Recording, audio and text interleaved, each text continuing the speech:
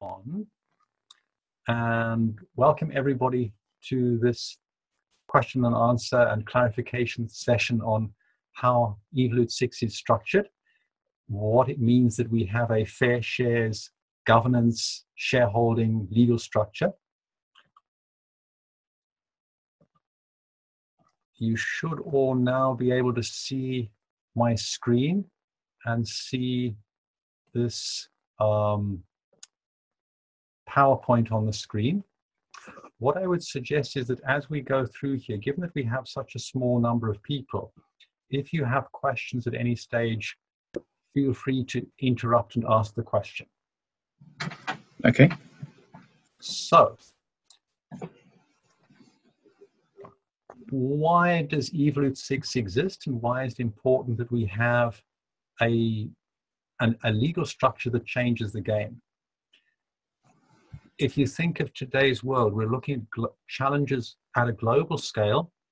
What we're dealing with in the US right now with the flooding of Houston from Harvey is something mm-hmm. that's been clearly visible for a couple of decades, perhaps even since the Club of Rome report 40 years ago.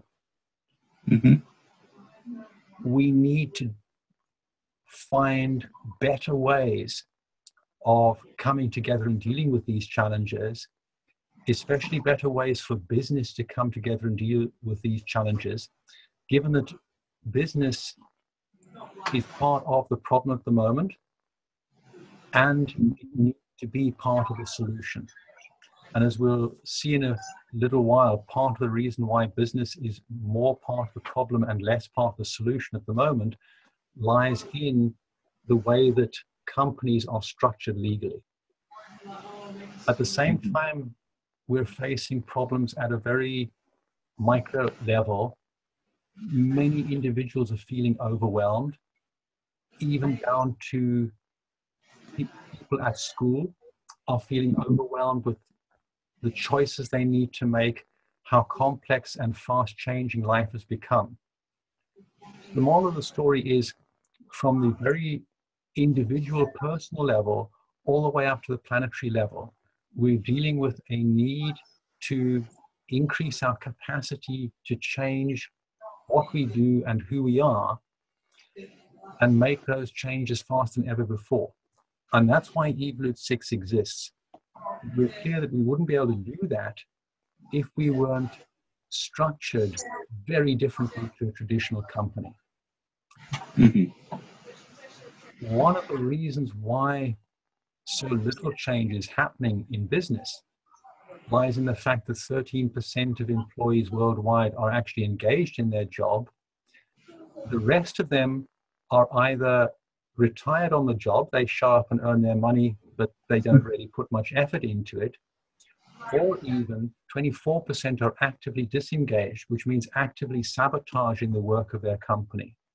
Mm. We believe that a big contributor to this very low percentage of engagement and far too high percentage of disengagement lies all the way down to the way that companies are structured. The mm-hmm. nature of the share and all of that is something that fundamentally disempowers employees. Mm-hmm. You can argue that employees in a traditional limited company are not far removed from the slaves of a century ago in the sense that they have no say in what happens to them long term. They can be bought if the shareholders of a company decide to sell all of their shares to a private equity company de facto, all of the staff of the company are bought along with everything else. Mm. That is, in many senses, an abstract version of buying and selling a single live human being a hundred years ago as a slave on a sugar plantation. Mm. So again, this points to why it's important to change not just what we put onto the walls of our companies as principles and values, not just change to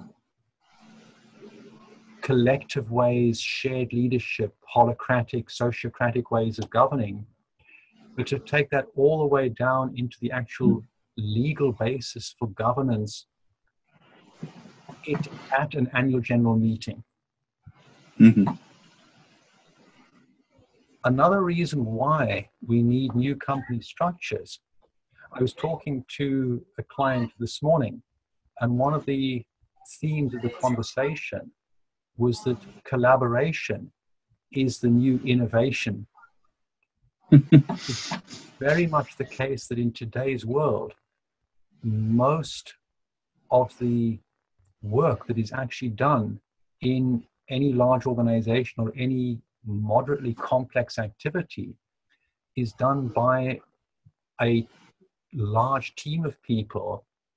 And the most innovative work today is being done by networks rather than hmm. any individual or any one company. If you think of the most successful startups over the past 10 years, many of them have been critically dependent on networks, both networks in their user base as well as networks in their team, the way that they operate, their suppliers, if you can call them suppliers, it's mm. all network based. Yeah. If 99% of the value of a company lies in a network that is not even inside the company, again, you need a completely different governance and legal basis for that company to truly function well. Mm-hmm. This actually takes us back to the origin of the word company, which comes from the French, is the same origin as the word companion, which essentially means somebody who eats bread with you. Mm-hmm. So, in essence, a company is about surviving and thriving as a group of people. It's not about, in its essence, uh, one group of people working really hard for a monthly wage in order to maximize the long term total shareholder return for another group of people who exercise control and who have, through that control, the possibility of doing everything from developing that company over the long term with a generation's perspective all the way through to asset stripping the company within a quarter for their own needs in the short term. So that takes us to EvoluteSix. We have a very different share structure intended to address all of the above needs all of the above drivers pointing towards many of the problems that we're seeing in today's business world and on the planet have their origins very deep in the way that companies are structured. So the starting point to understand why EvoluteSix has a very different legal structure, understand what is the purpose of EvoluteSix. Evolute 6 has a legally defined purpose, which means that all of the agents of the company are legally obliged to serve this purpose. Mm-hmm. Compare that with many companies where the purpose of the company is undefined, which then mm. legally the purpose is de- deemed to be maximizing total shareholder return. In our case, everybody is legally required to work towards this purpose. And the core elements of the purpose of EvoluteSix are to transform the way that business engages with people and the natural environment. Mm-hmm. So, our purpose is to enable businesses and their people to flourish. Very clear business must flourish, and the people in businesses must flourish. Mm-hmm benefits of developmental coaching and developmental organization design and practices to all. The next important thing is to generate and spread well being, including but not limited to wealth and power amongst the company's stakeholders. And when we say the company's stakeholders, we mean all stakeholders, all of the different constituents that mm. build up the companions that form the company. And all of this is intended, at the very last line, to systemically improve the capacity of organizations to create environmental, human, social, and financial capital. So that is um, the purpose of EvoluteSix. Mm-hmm. How we are structured and what we do at an organizational level, we have three distinct domains of activity. In green at the bottom is our work with individuals and groups of people to develop individuals as individuals or groups as groups. Just as in the past, everybody went to school and learned the three R's reading, mm-hmm. writing, arithmetic. We believe in the three will be complemented by a fourth discipline, the discipline of adult development or self development as an adult. Mm-hmm. The second component of what we do is enabling organizations step towards becoming truly teal.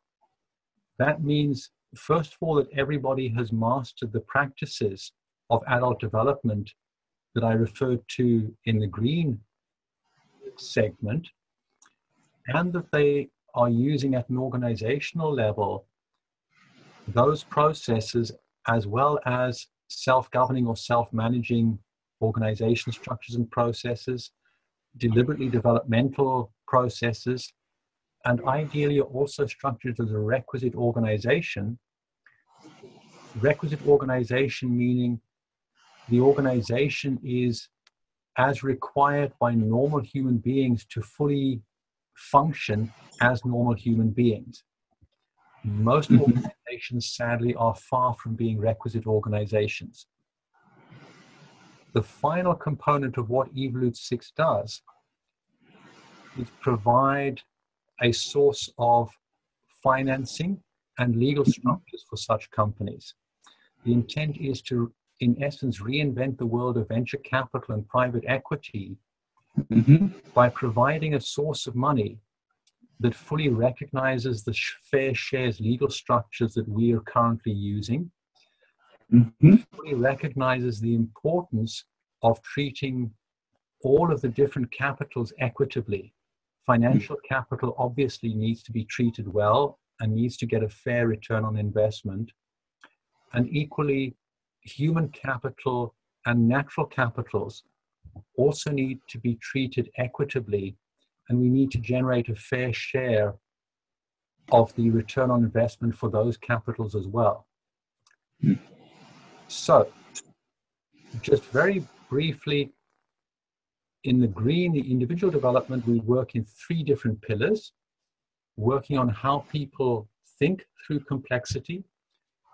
The middle pillar is how people engage with themselves and others in a complex, threatening world. And the final pillar is dealing with people's type, their makeup, things that cannot be changed easily. We do this in two different ways. One of them for people who do specific different units. You can get your badges or qualifications in that unit. The other way is people who engage with this as a long term practice of self development, we recognize the level you've reached in terms of belts of different colors. That gives an example of what we're doing at an organizational level, which in essence I've already covered. Um, the call mm. I came out this morning was one where I was working with a company to get their purpose clearly defined that leads into defining strategy, which can lead into us helping companies find the right staffing, structures of requisite organization, bring in holacracy or sociocracy 3.0. Now, we dive into some of the details of the new company structure.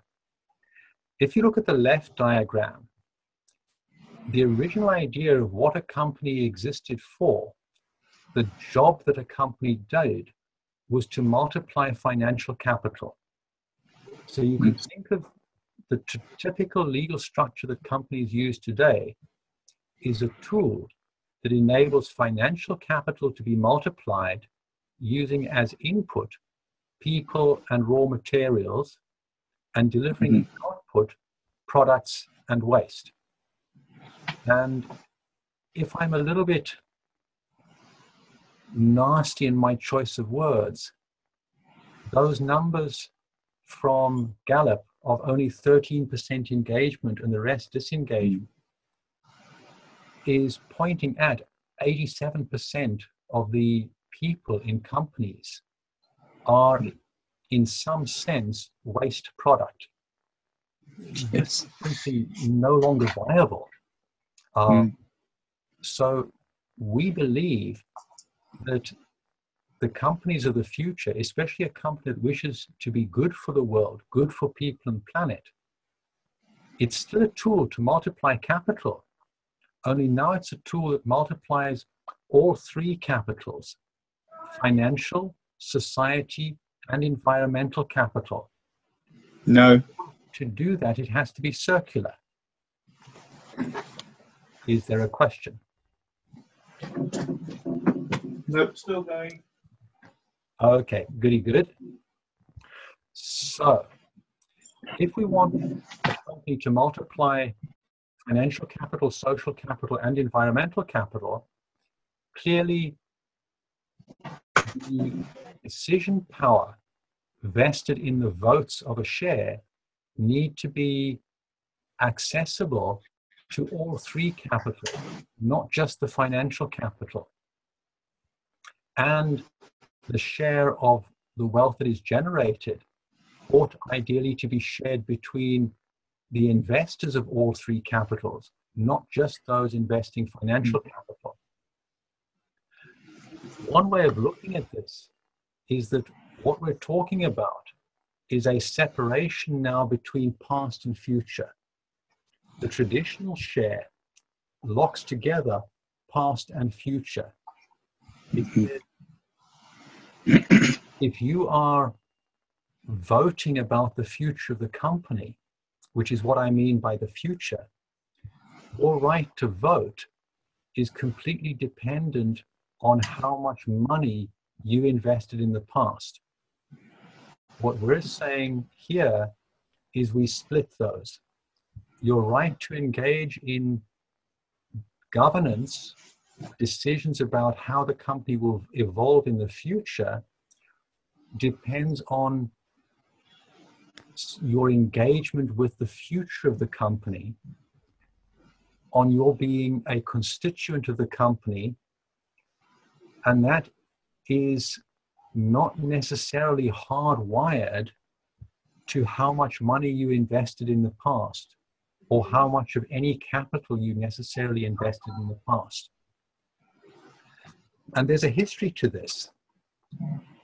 This is actually nothing other than what nation states have done over mm. the hmm. past uh, couple of centuries.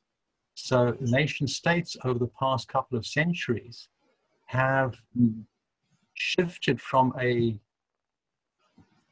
type of democracy where you only had the right to vote if you owned land in the country to mm. today's world where you have the right to vote if you are a citizen of the country. And what we're proposing here with the Fair Shares multi stakeholder governance is exactly the same just as we shifted from a world where you needed land title in order to vote, we here in EvoluteSix are shifting from a world where you need a share of the financial capital to have the right to vote into a world where if you are engaged with the company as a good citizen, a constituent of the company in good standing, you have the right to vote. The essence of this means if the future of the company will impact your life in a significant way, you ought to have the right to speak at any general meeting and the right to exercise your vote in such a general meeting. Okay. This is not hard to do. You can also think of what we're talking about as at the moment, most companies are using one of a range of preset package deals, somewhat mm. like a package deal when you go on holiday, where you pay upfront and you get a set package deal in return for your money, and you don't need to engage in any other way. You just turn up at your uh, paid for hotel together with the other group of people, and you have your breakfast and your drinks and everything for free. You know, today's package deals might be the standard limited company, the cooperative, the trust, whatever the package deal is, there are a wide range. However, there's no need for us to stick with those package deals. Package deals, by the way, that lock together past and future into a fixed way.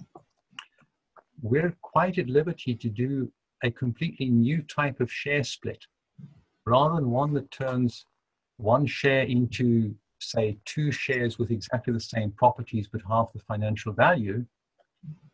Here we're doing mm. a share split where we're splitting the shares vertically. We're separating out the right to vote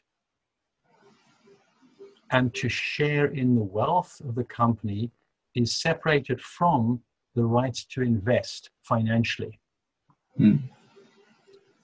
So, before I dive into the details of how specifically done that, I open the floor now to Rory, and I will stop sharing on my side.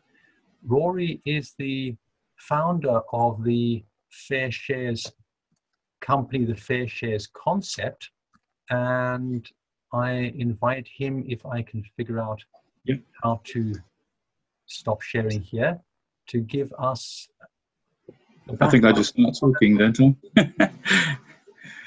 if I start talking, does my picture then uh, take center stage? No, your picture is still there, and I'm not quite sure what I've done, but I seem to be unable to stop sharing. Okay. Can other people hear you? Uh-huh. Somebody says, I can see you, Rory. Okay. Excellent. So whatever I've done, it's working now. Okay, uh, welcome everyone. Um, Graham asked me just to spend five, ten minutes uh, talking about the history. Um, so um, I work at Sheffield Business School, um, and I've worked there since 2003. And I undertook a doctorate on um, employee-owned and cooperative models of business. Specifically, got interested in multi-stakeholder models. And those the, the, the experience during those years that was most formative on me was visiting a group of uh, cooperatives in the uh, Basque region of Spain. Um, and they have what they call primary and secondary co-ops. And it was the secondary co-ops that were particularly interesting, the bank, the university, and also the retail chain that spreads across Spain, because they all had multi-stakeholder structures that were working extremely effectively. So it persuaded me that um, in the English speaking world, we haven't really properly engaged with multi stakeholder worker own, well, multi stakeholder structures with a significant degree of employee ownership. So we we ran summer schools for about five years where we were teaching these multi-stakeholder structures to consultants, to academic staff, to people that uh, get called social entrepreneurs.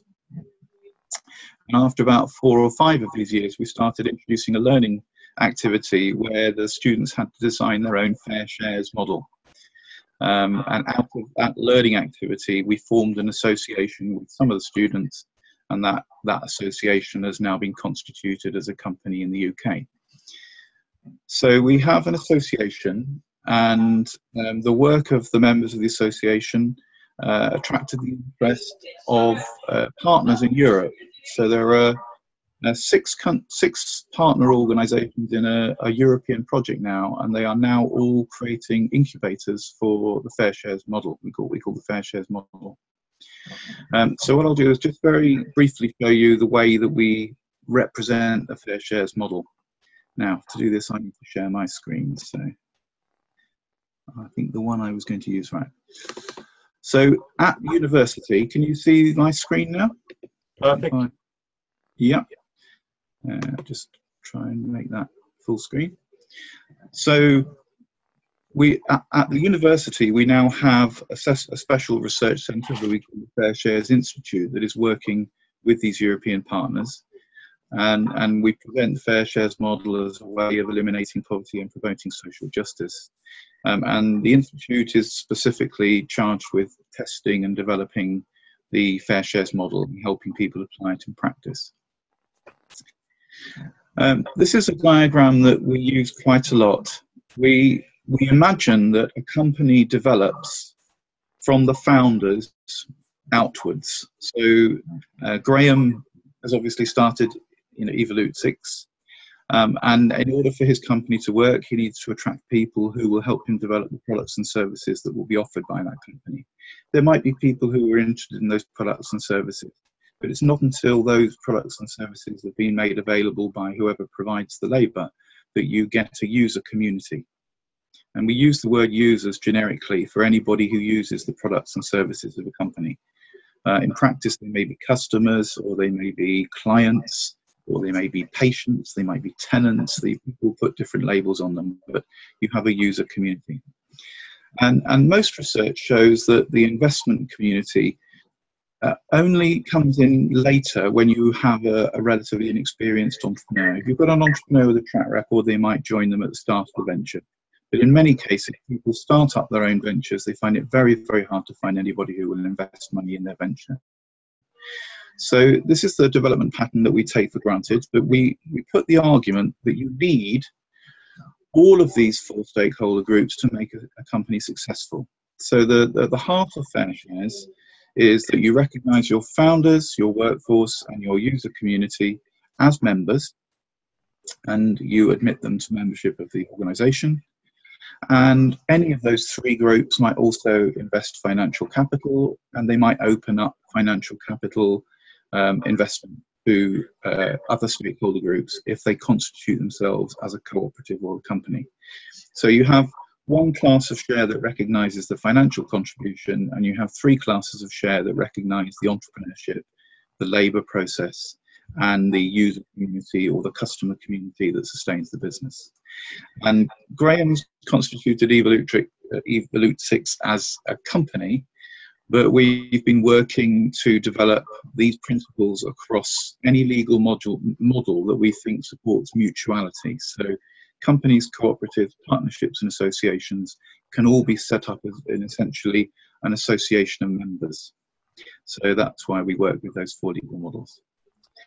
Um, the only other thing I think I'd just like to share with you is the, the basic values and principles that have been adopted by the Fair Shares Association um, by the Fair Shares Institute at Sheffield Business School and also by the Fair Shares partners in the, the European project. So we, we try to develop business development processes that focus on wealth sharing, um, defining social purpose. I, I, Graham was saying he's just been the company to help them define their purpose. And once they have a purpose, auditing uh, their success in achieving that purpose then focusing on the goods and services that are offered, that these goods and services do produce well-being, which um, EvoluteSix is, is committed to doing, but also that you produce them and you retail them in a way that is good for the labour force and for your customers. So it's not just about what products you offer, it's the way you produce them and the way that you retail them and you distribute them. And then the last is the issue of democracy, which uh, uh, Graham has been pointing out about, we, we call it the, you know, the extension of the social democratic model into firms and companies. So democratic ownership, governance, and management, um, and to create an inclusive culture. So I'd be happy to take any questions you have on any of that, and uh, can direct you to additional resources if you so wish. So, yeah, am I back in the screen now, or are we looking at you, Graham? you're, you're, back in the screen. I can see you clearly. Um, probably when I'm talking, other people see me. Okay. Good. Any questions to Rory at this point?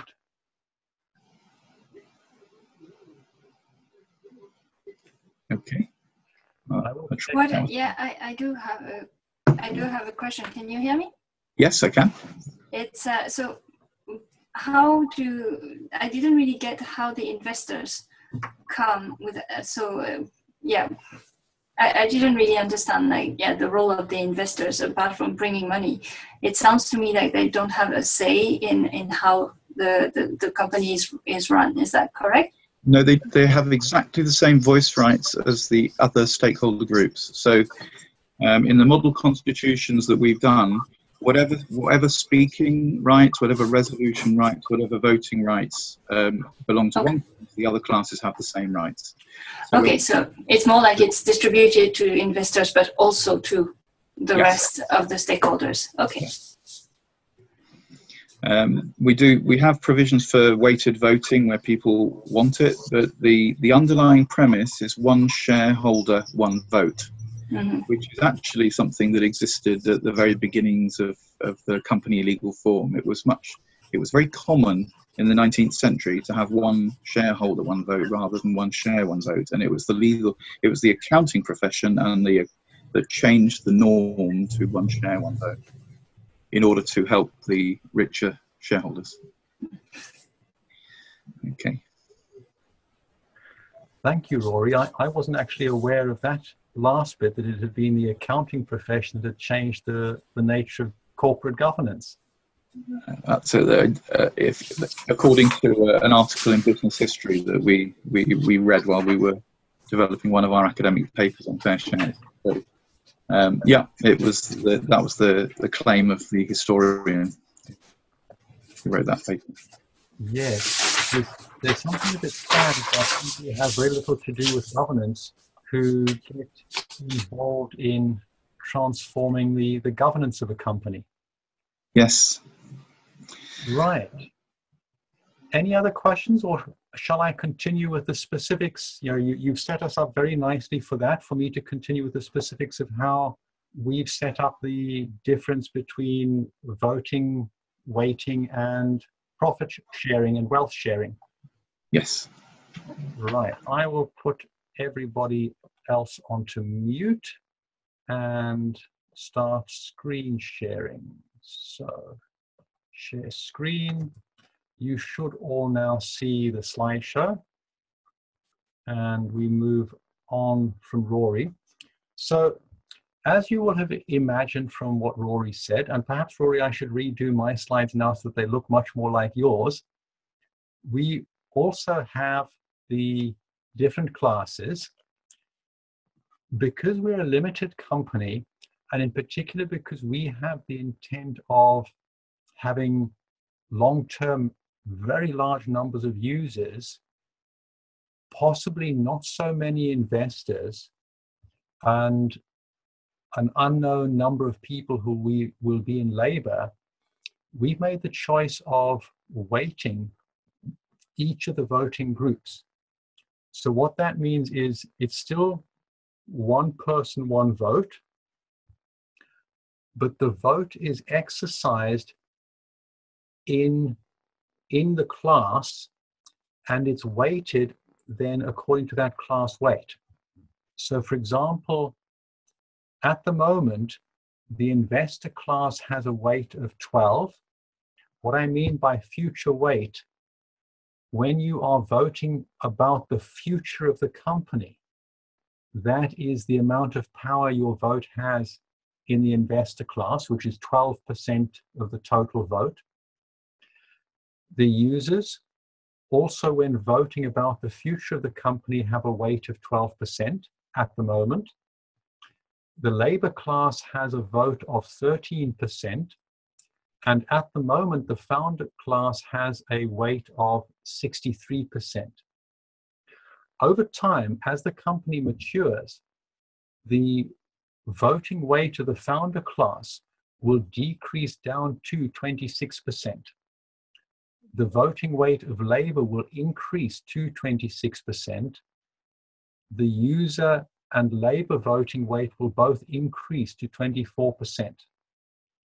The rationale behind that is that when a company is very young, it's critically important that the company stays true to its purpose. Quite often, that purpose is not even clearly understood. It's something that is more in the gut instinct of the founders. The values of the company are often tightly embedded in the values of the founders. So, this enables the founders to maintain sufficient influence in the company in the very early phases until the essence of what the company really stands for has become sufficiently clear that everybody in the company, all of the constituents, are clear on what the company stands for. It's something that is, in many senses, akin to the role of a guardian or a parent in bringing up a child, taking care of the development of somebody until they've reached a point of maturity where they are have the capacity to fully understand what's happening and choose wisely for themselves.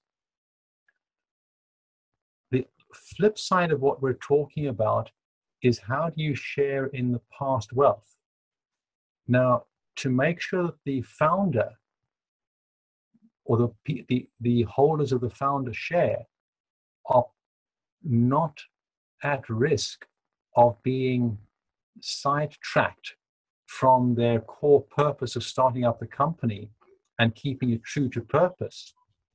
The founder shares, whilst they carry a very high voting weight, carry zero capital gain and only a 1% share of the dividend. Unlike, for example, the investors bottom right, where they share 50% of the capital gain and 35% of the dividends. Labor and user, each of them share 25% of the capital gain, and that should actually, I think, be 25% of the user for the dividend and 40% of the dividend for labor. So, what that's saying is that the three classes of shares that invest significant amounts of capital investors investing financial capital, labor and user who are investing social capital or human capital, they share the bulk of the output of the company. They share the bulk of the wealth. As Rory said, anybody can hold shares in any of these classes. So, for example, I hold investor shares, labor shares, and founder shares. So, I do share in the capital gain of the company through my financial investment in the company. I share capital gain through my investment of human capital, time, intellectual property, relationships. So I do still have a significant share in the wealth generated of the company, but that is a share based purely on how much have I contributed to generating that wealth of the company. It's not a function of my simply happening to have been the first person in the starting blocks, giving me some sort of de facto rights of a king who just happens to have been born owning the whole country. But I retain the stewardship power to make sure that the company matures in a wise way for as long as is necessary. Now, in the shares, there are, sorry, in the constitution of the company, there are specific milestones where the voting weight of the founder decreases and the weight of the other three classes increase. So that is, as it were, programmed in. And somebody who's doing this now, or perhaps in a year's time, might end up programming that in in the form of a smart contract on a blockchain or something like that. This entire approach lends itself supremely well to the blockchain and to smart contracts as a way of actually automating and guaranteeing that the governance works correctly. So one of the things I mentioned was that any individual Sorry, Graham, I had yes. a question. Sorry, I was writing in the chat box. So if you could go to the previous slide, please. Yes. So you said, um, say, an individual can be in multiple pockets, right? So in that case, if it's a one stakeholder, one vote, how does one, how does that um, work if you have your foot in three different doors? Ah, perfect mm. question, which sends me up for the next slide. Okay, sorry. Thank so, you. one vote but only in the highest share category you own. So, given that I have a founder share, I can only exercise my vote in the founder category. I cannot exercise it in the investor category or the user category or the labor category. You, for example, Nikki, you have a labor share. Um, you could also have an investor share because you have a labor share, you're only allowed to vote in the labor category. This is, this by the way, is not something that is hardwired into the fair share concept overall. The way that most fair shares companies do it, at least this was the way when I talked to Rory a year ago, is that they allow you to exercise your vote in all of the categories you're in. Um, Rory, perhaps you'd like to comment on that at this point? Yes, in terms of the uh, the model rules that are available, you're right. We haven't, we don't insist um, on um, the the model that you've got. But when we role play, when we when we do teaching materials and we role play governance and voting, we ask people to vote in the category that they joined first. So we actually do role play it in much the same way um, that you do, but it, it's by your first connection to the business. Um, we do have spreadsheets that enable you to, you know, work out what the weighting voted would be if people did vote in more than one category. But I'm inclined to agree with you that in practice it's quite useful to have a system like this. Makes the running of meetings much easier. Yes, exactly. Um, yeah. Also, I think that there's there's something in if you're voting in multiple categories that opens up a route to different people having different numbers of votes. If somebody has four shares, then in a sense they're voting four times in a meeting rather than just once. Yeah, we we talked to the the regulator of cooperatives in the UK, and, and he he he didn't see it as a major problem. If if I, for example, was a member of different cooperatives that were all members of a what a secondary co-op, so in the UK, we have Co-ops UK, and I might belong to several co-ops that vote on something as members of Co-ops UK. But actually, when you're running a frontline business that's producing goods and services and you're taking decisions about strategy and the future, I think it's sensible to um, organise it the, the way that you're doing it. Is that people vote in one category only? Yeah. Yes, I this this has been our sense that it was wiser to to really keep it strictly one person, one vote, and mm-hmm. we look at it rather than as the category you come into first, as the category that you are currently most strongly engaged with the company through. Yes, um, I, I, uh, as you know, I, I'm quite supportive of what you're doing here. Yes. Excellent. So, the, the one thing I'll add in here at this point, you mentioned the whole question of the executive work. Keep in mind that this is the voting rights in a general meeting context, which is mm-hmm. about the long term decisions about the, the long term future of the company. Mm-hmm. That is an executive role, which is your normal work of the leaders of the company, the management of a company just as in any standard listed company or unlisted limited company where the shareholders leave all of that to the management team of the company. Exactly the same here. All the day to day executive decisions in the company are done by the management team.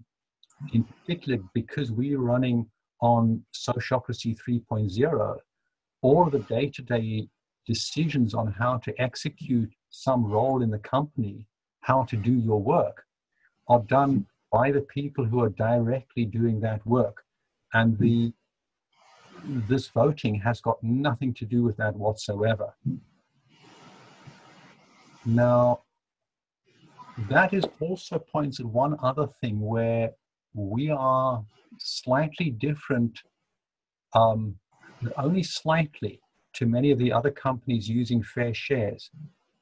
Because we're using Sociocracy 3.0 as our operating system in all day to day work, we've also extended that up into how we initially attempt to reach decisions um, in general meeting formats. Um, Rory, could you mute? Yes.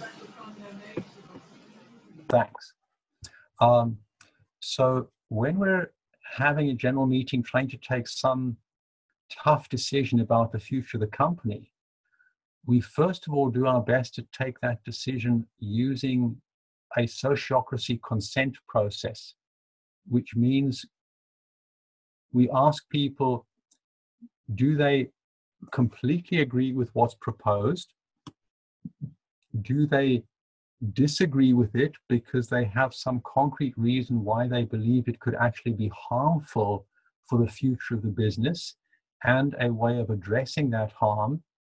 Or are they in between? They neither fully agree with it, but nor do they see any reason why it would be too dangerous to even try. So, with that kind of consent decision making, it means that we're able to tap into what any individual member of the company from any of the segments might have as an insight into how a certain course of action or choice for the future might cause irreparable harm to the company, harm that is so big that even trying it might put the whole company at risk for everybody. And of course, that gives us significantly more intelligence when we're taking big decisions than any traditional company can ever have. So often in the voting of a traditional company, because it's only the investors who are involved in voting, and it's a simple kind of democracy, the risk that the one person who has unique insight into why a certain course of action will be harmful the risk that that person gets swamped in all of the other noise and not listened to is very high. In this way of working, it doesn't matter how small the warning light is. If there's a warning light flashing a warning that your choice may cause irreparable harm for the company, that warning light will be listened to. At the same time, typically in a consent process, you rapidly get to a point where there are no objections, i.e., we should not do this because it is quite likely to cause irreparable harm. However, if in that consent process we come to a point where we're unable to move forwards, that's when we bring in voting. Um, once all of the objections have been listened to and the um, perception is that the objection is actually not one that is likely to cause fatal harm, that's when we would switch into voting. Or in something, for example, where it is about a legal change to the constitution of the company or something like that, that's also where we would use voting to make sure that we have real clarity on where everybody stands. So, in that sense, you can think of voting in some ways as being the less preferred option. The most preferred option is a sociocratic consent or governance round where all of the insight that the entire group of people have into the risks and advantages is taken into account.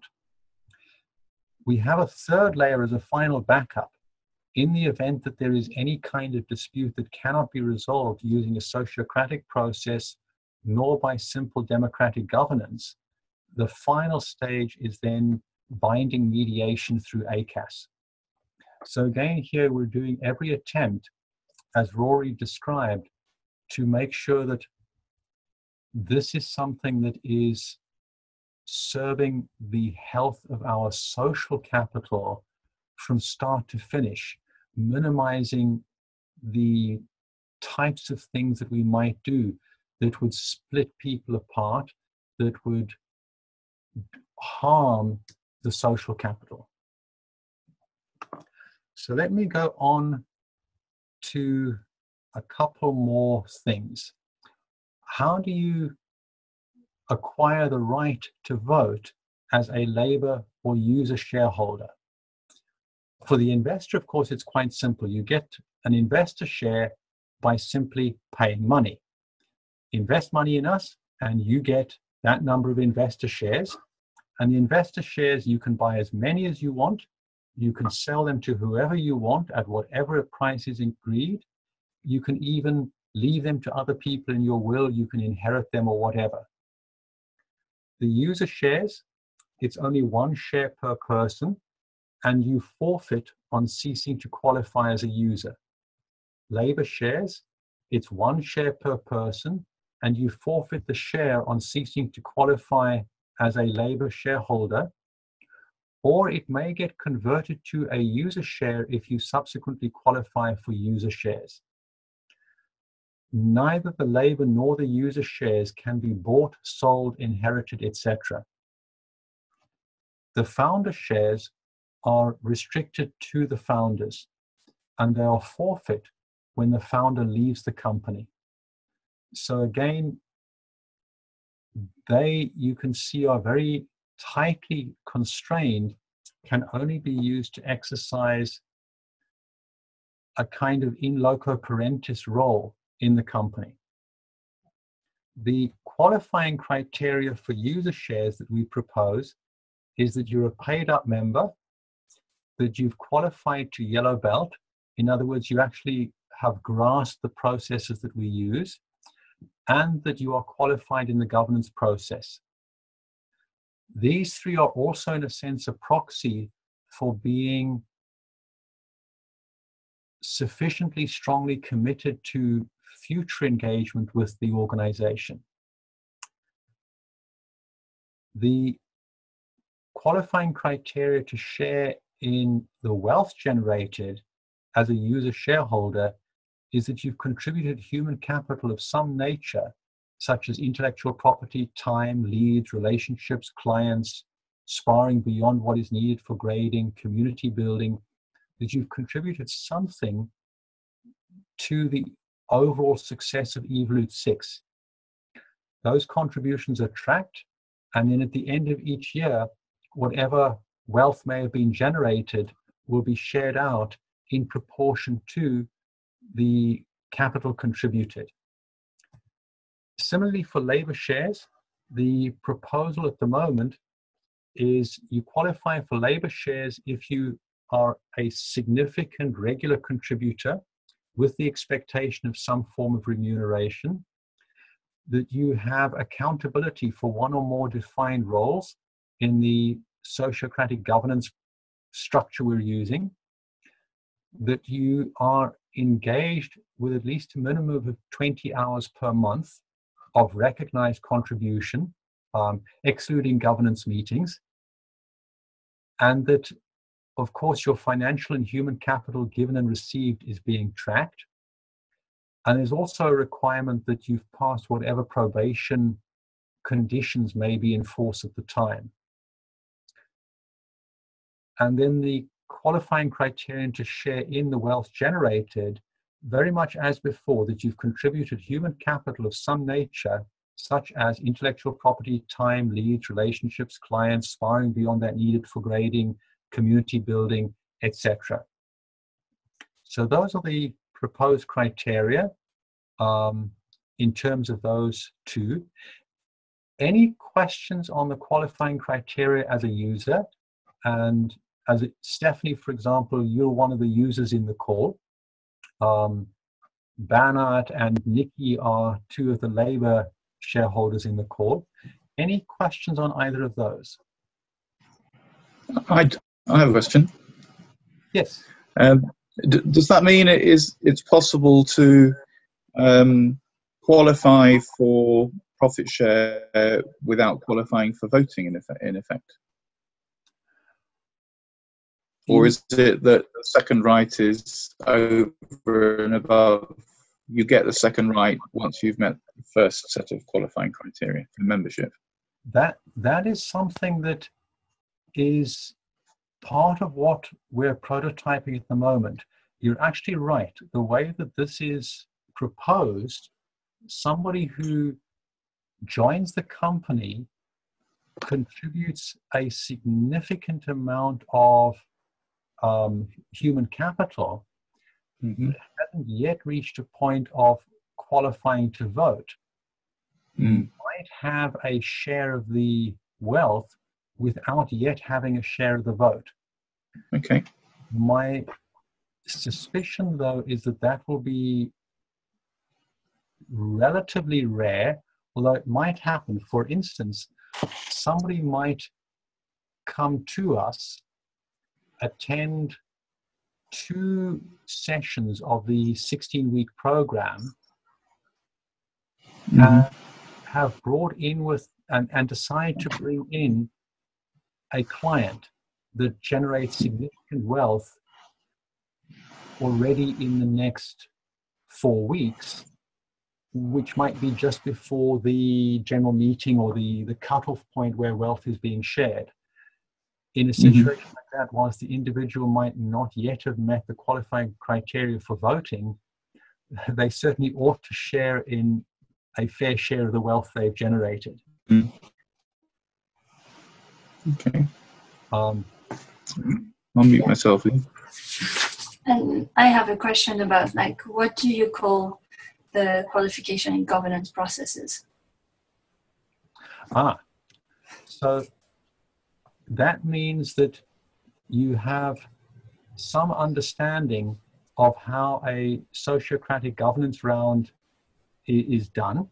And what we intend to do is run simple trainings in how does a sociocratic governance process work, which won't take anybody more than about probably half an hour to an hour of either listening to one of us explain it or watch it on video and then in the actual AGM to stay with what the facilitator is leading us through during the actual decision making process.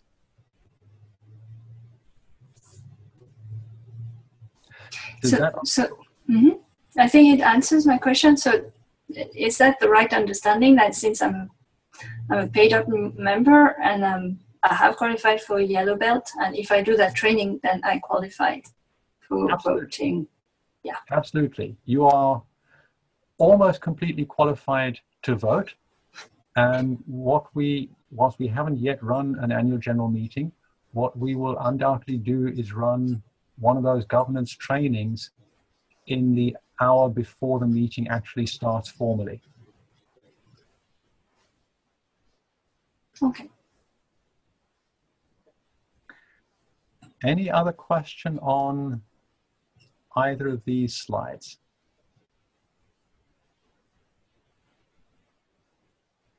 Right, in that sense, jumping on, we have one other area where we are different to a standard fair shares company.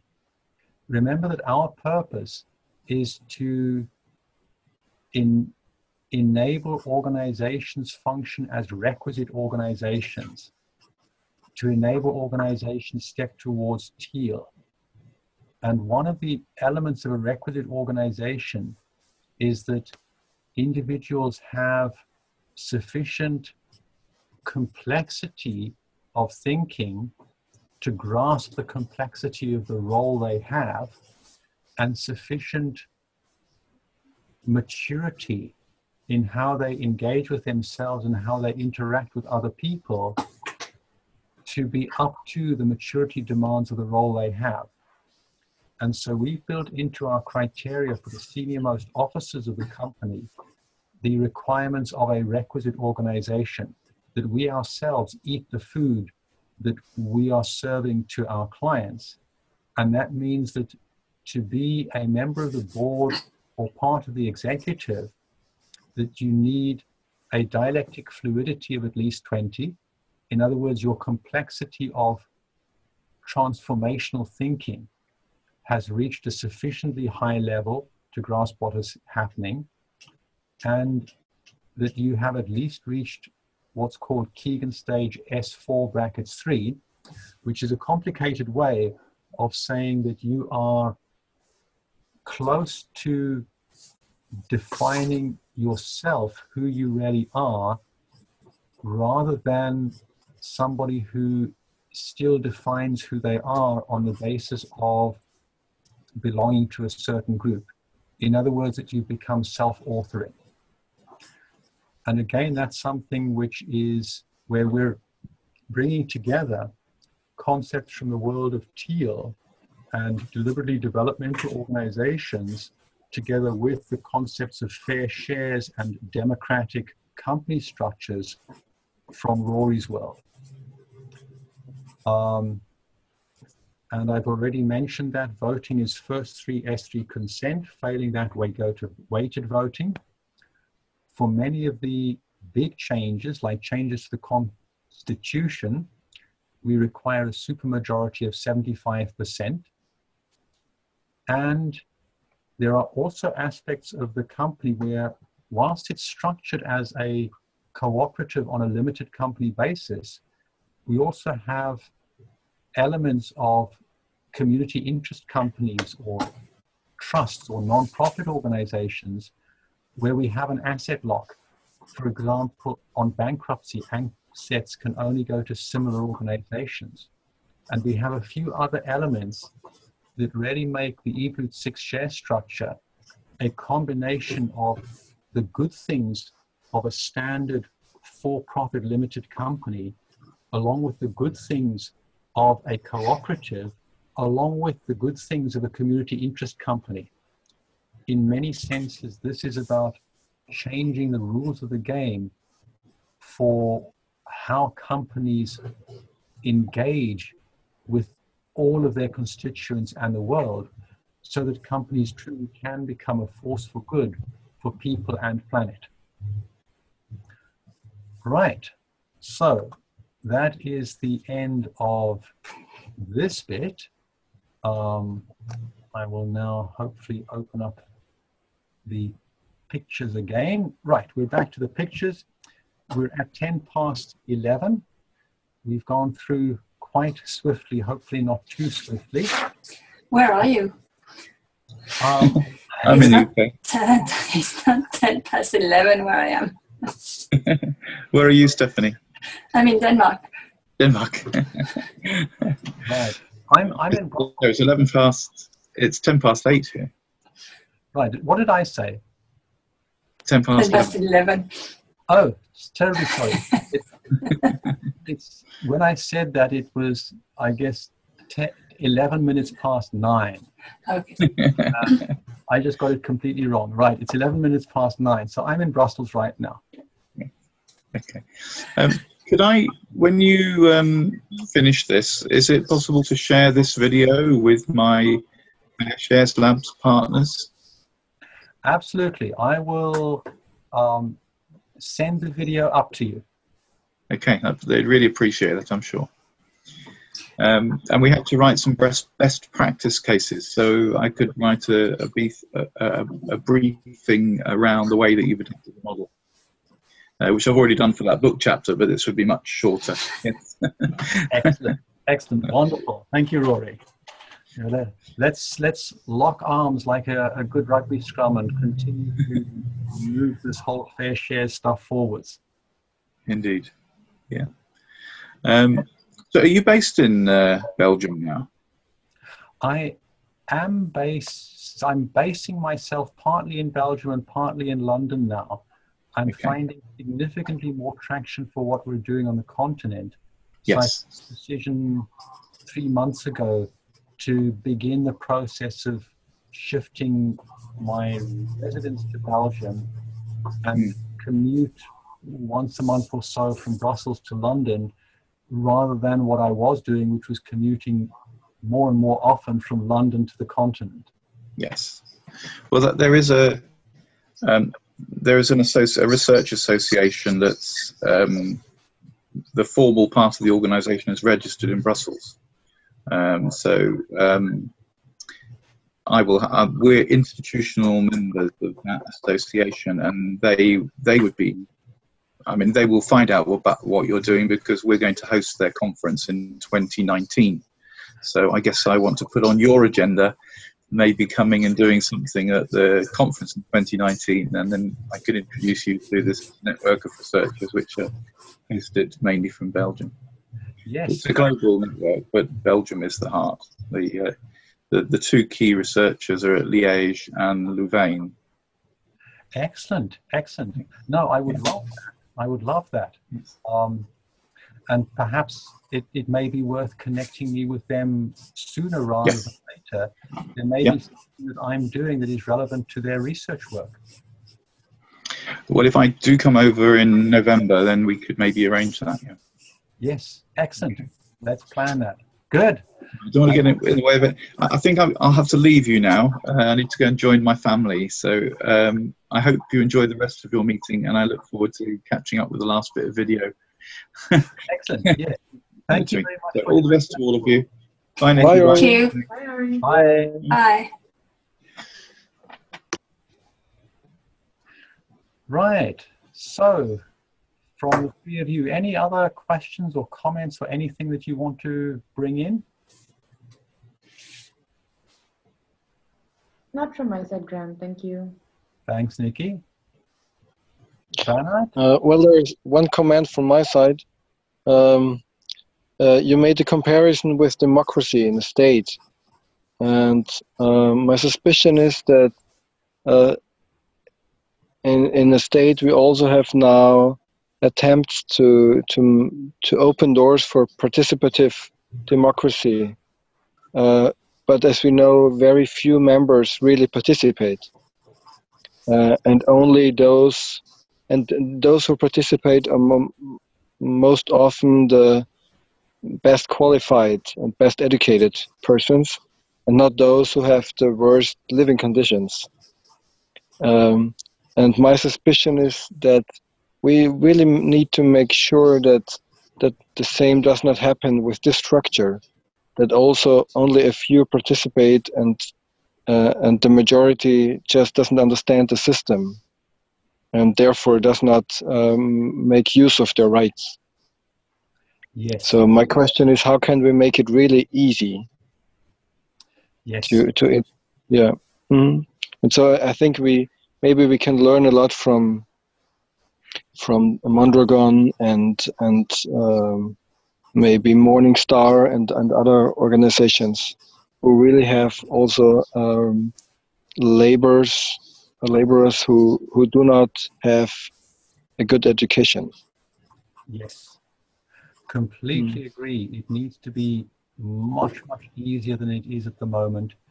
It needs to be something where everybody whose future is tied up with the future of EvoluteSix is fully able to engage and able to contribute everything that they have to contribute. Mm. Yeah. And the other comment is that I think that S4 slash 3 is, is too low. Yes, um, I'm, I'm with you on that. I think that S4, sorry, it's S4 brackets 3, which is one stage higher.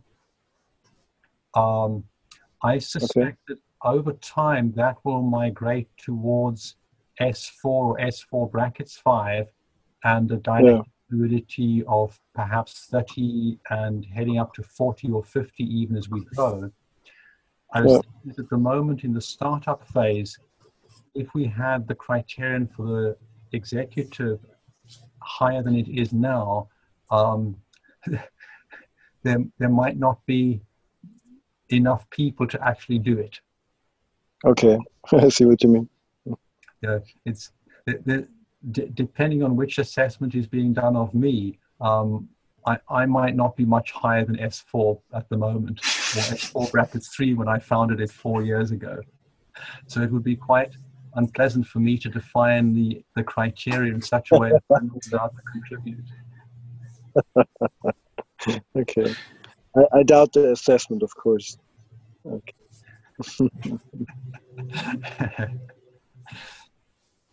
but yes, no, you, you're oh. quite right there. Yeah. Um, thank you from my side. Only a pleasure. Um, Stephanie, any questions from you?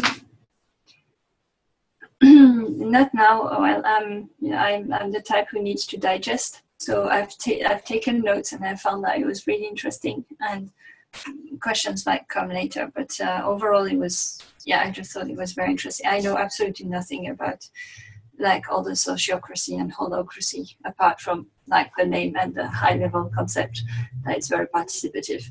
But so it's, um, yeah, I'm, I'm starting from scratch, but it's very uh, it's very enlightening and, and and interesting.